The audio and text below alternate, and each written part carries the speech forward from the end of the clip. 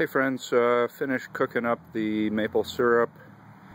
The two on the right are just still hot. They're, they were just cooked today. You can see a little sediment in them. The one on the left was cooked about two weeks ago and uh, was left to settle. Then the clear stuff was poured off and the sludge was run through a coffee filter.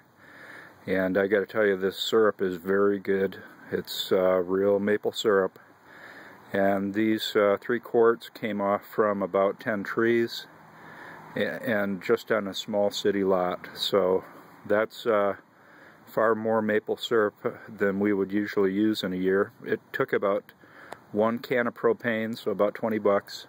And um, I did have uh, the clear plastic tubing already um, but that would probably be about five bucks. I'm not really sure how much that costs but uh, so there you have it. Uh, not too bad for close to three quarts of uh, maple syrup.